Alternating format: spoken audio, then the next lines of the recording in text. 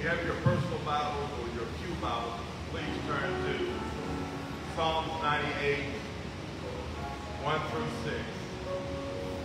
Psalms 98, 1 through 6.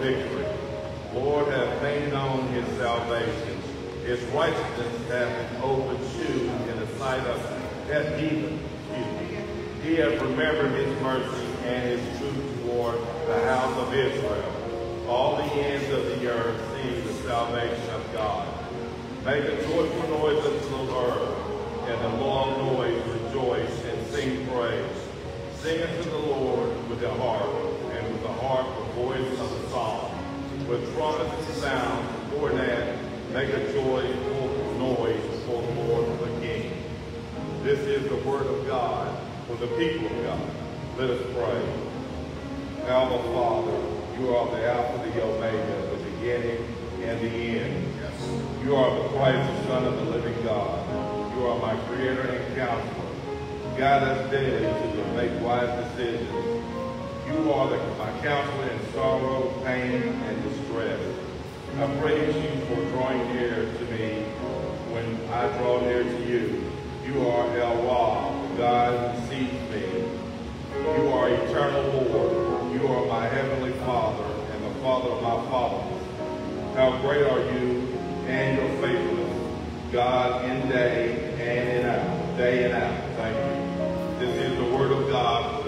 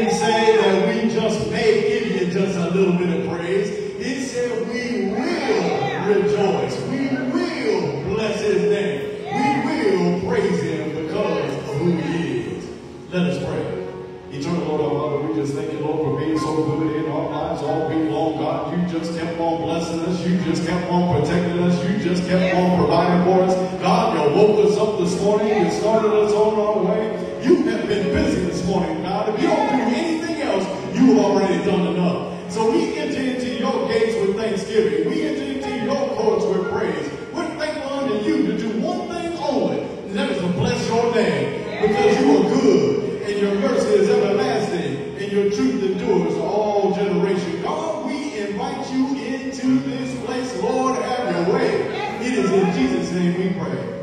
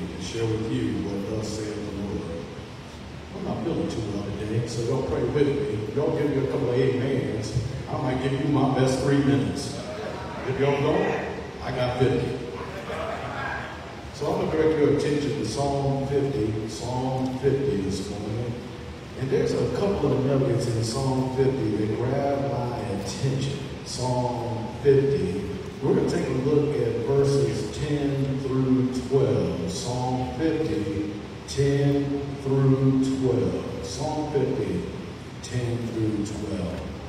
And a reminder for us that God wants to communicate to us. When you have found Psalm 50, verse number 10, go ahead and stand to your feet. Psalm 50, verse number 10. If you need a little bit more time, say, wait a minute, preacher. Amen. Psalm 50. Psalm 50. Verse number 10, Psalm 50. Verse number 10. And in Psalm 50, verse number 10, we find these words. Read with me. It says, For every beast of the forest is mine, and the cattle upon a thousand hills. I know all the fowls of the air, of the mountains, and the wild beasts of the field are mine. If I were hungry, I would not tell thee, for the world is mine, and the fullness thereof. Amen. Today's sermon title is That's Who He Is, part number two. You can take your seats. That's who He is, part two. It is important, it is critical that we fully understand who God is. If we really knew who God is, we would line up in front of this church on Friday, spending the weekend all weekend long, so that we could make sure that we could get a seat in the sanctuary. If we knew who He is, we would be upset when worship service was over. We would be demanding for an encore. We would be waving our hands, shouting at the top of our lungs if we knew who He is we would crowd the pulpit. We would just have a strong desire just to reach out and touch him, to hold on to him, to never let him go. Just wanting to be in his presence. If we knew who he is, we wouldn't like be waking up on Sunday morning saying, I have to go to church, but I get to go to church. See, get is an opportunity that has intentionality around it. Get has an excitement factor to it. If we knew who he is, we can understand why the psalmist says that God is our refuge and strength, a very present help in times of trouble. See, God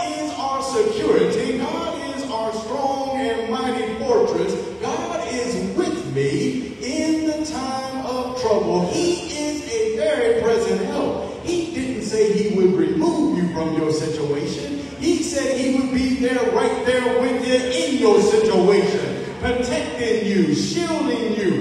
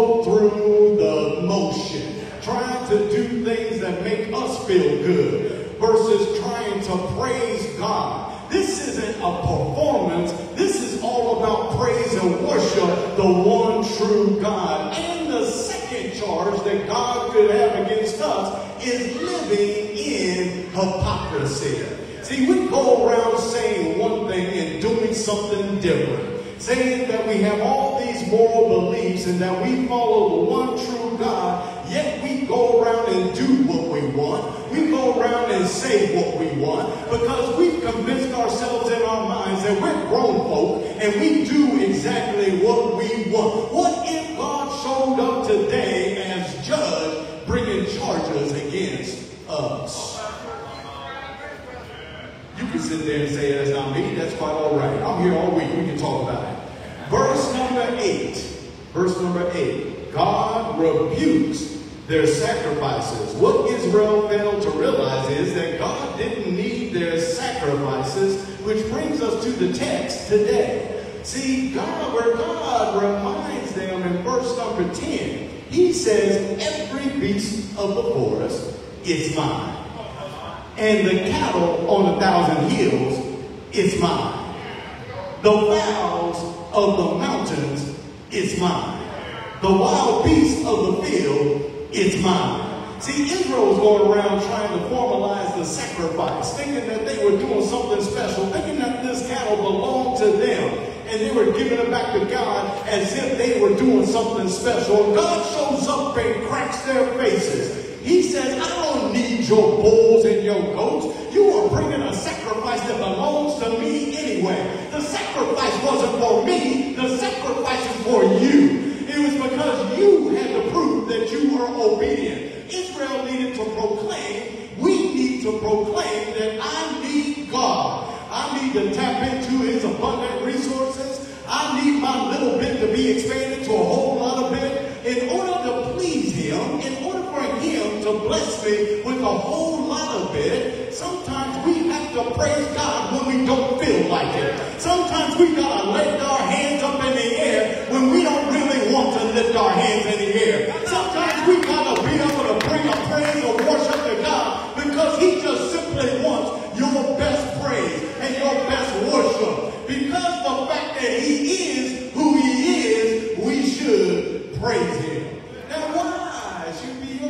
question, right?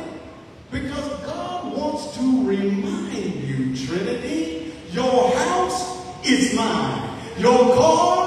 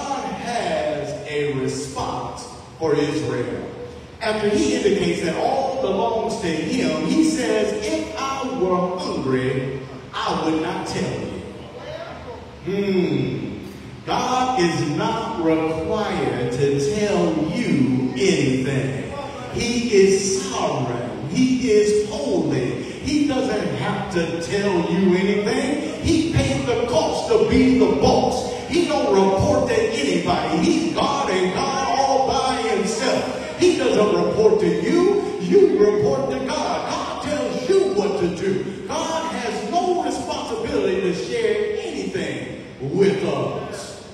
See, here's the thing that I found out. I came to a realization this week. If Jesus wanted to come back again today, that's his business.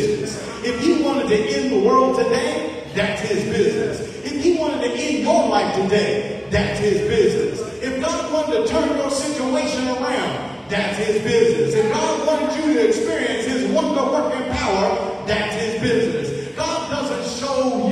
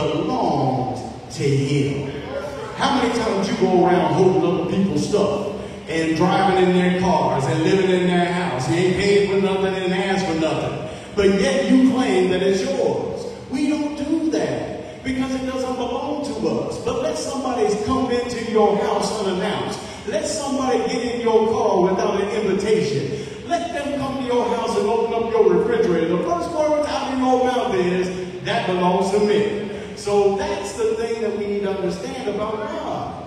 Look at the end of verse number 12. God makes a declaration. He says, the world is mine and the fullness thereof. Israel, just in case you were confused, Trinity, just in case you thought you owned some stuff, God wanted to set the record straight. He said, this world is mine. Not only the world, but the fullness of all that is in the world. Man, what are you trying to say, preacher? I'm glad that you asked.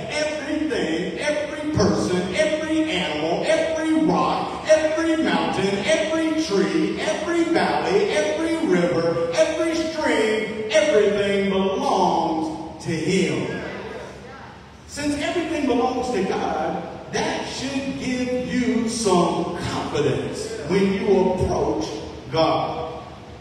See, now I understand why the writer said, do not be afraid or discouraged. This battle is not yours. It belongs to the Lord. See, this sickness, it belongs to God. The controversy at work belongs to God. My husband won't do right. It belongs to God. My wife has issues. It belongs to God. These kids are driving me crazy. It belongs to God. My bills, my financial situation, my circumstances, it all belongs to God. And because it belongs to God, He can choose to do with it whatever He wants to do with it. That's why when you pray, you should pray for His will be done, not your will be done. That's why when you pray,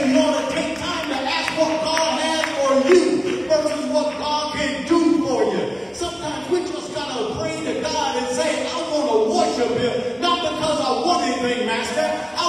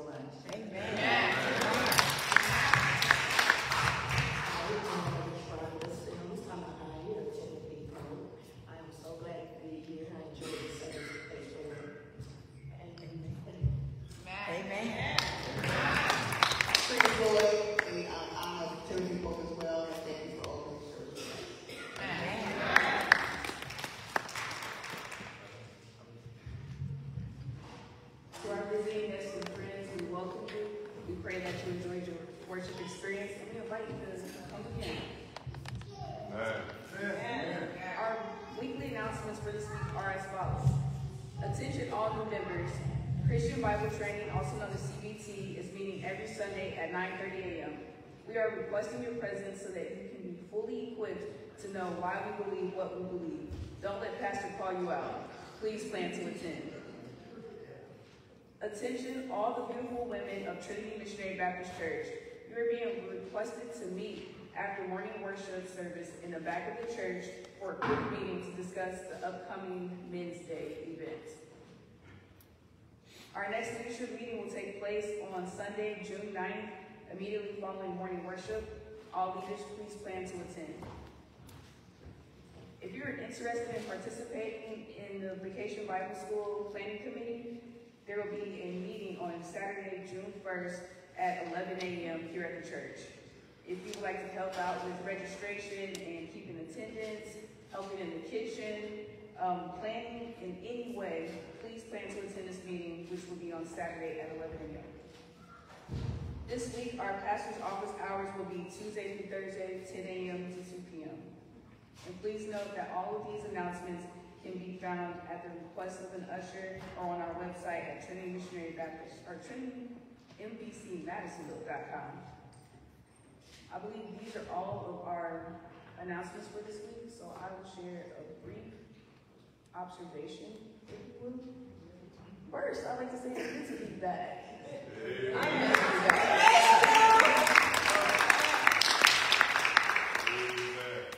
Gone for two weeks, um, and in that two week span, I graduated with my master's. I went to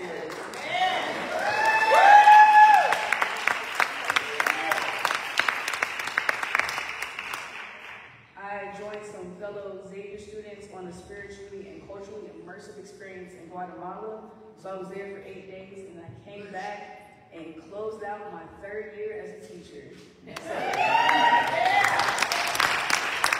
has been an eventful few weeks, but throughout all of my experience and my time in Guatemala, I'm going to put together um, like a little presentation to share with you all. But I was really thinking about what I can share with you all. And honestly, it's just a funny story I have.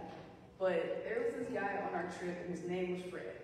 And Fred was like my partner. Fred is 72 years old, fellow theology student at Xavier.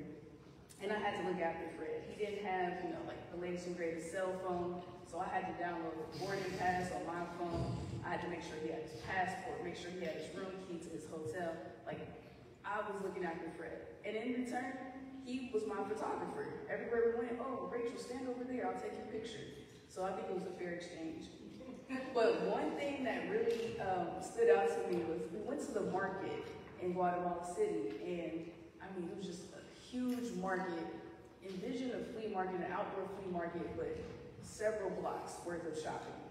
And we walked through one day to get to a church. And as we were walking through, these women kept coming up to Fred, showing him different items, asking him to buy them. And he just kept saying, Manana, manana. And so manana is Spanish for tomorrow. And tomorrow came. And we're walking through the market, so this time we're actually there to buy. And these women saw Fred and honed in on him. They swarmed him. There were about six women with all kinds of purses and trinkets. And they kept saying, Manana, Manana. And so we thought the women were joking because we didn't remember them. And Fred was like, no, those are the ladies. I told them tomorrow. And these women followed us through the market and back to the hotel, sat outside our hotel waiting for Fred. They told him, they didn't know much English, but they knew ATM. Fred bought so many items from these women that he had to go buy a, a suitcase from the market just to get through the market. And, you know, it really clicked to me when Pastor was talking about we don't always have tomorrow. And these women put so much hope in seeing Fred tomorrow. And so much hope that they will be able to get a sale from Fred tomorrow. And it just makes me think about salvation and how we don't always have tomorrow. So I just pray that if it is on your heart and you want to give your life to Christ, do not delay, do not hesitate. He is ever present and ready and willing to accept you. And I am grateful that we have a baptism this morning. So if the family of Timothy Pope would like to come up and join us in the choir stand, we'll proceed with our baptism. Amen.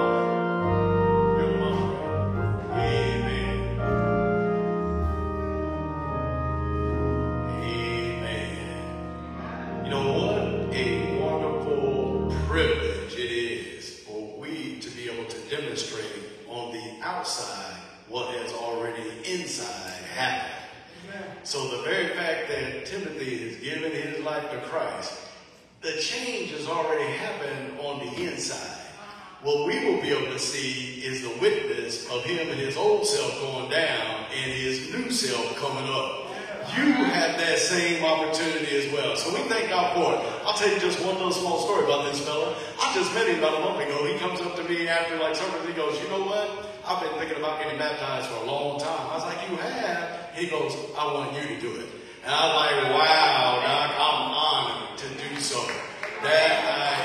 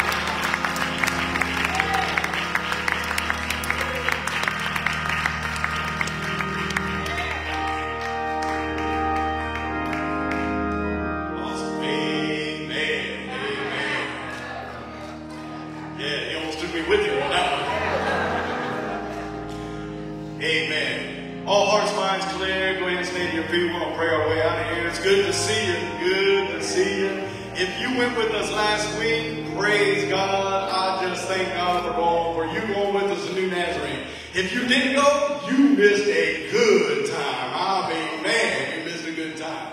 And then for uh, Keith and for Wiley, we got a new board. So the mic sounds a whole lot louder today, isn't it? We finally came into the 21st century, and these brothers were here for like six, seven hours yesterday, trying to get it right. So we just thank God for them. We praise God for what he's doing. It's good, good stuff. Simeon got the opportunity to sit in the sanctuary for the first time in, I don't know, a year, maybe, maybe a year. But we thank God for him. Eventually, we'll be back online through the camera on the wall. But until then, we got an iPad. So Amen. we will definitely do it then. Amen. Go ahead, Michael.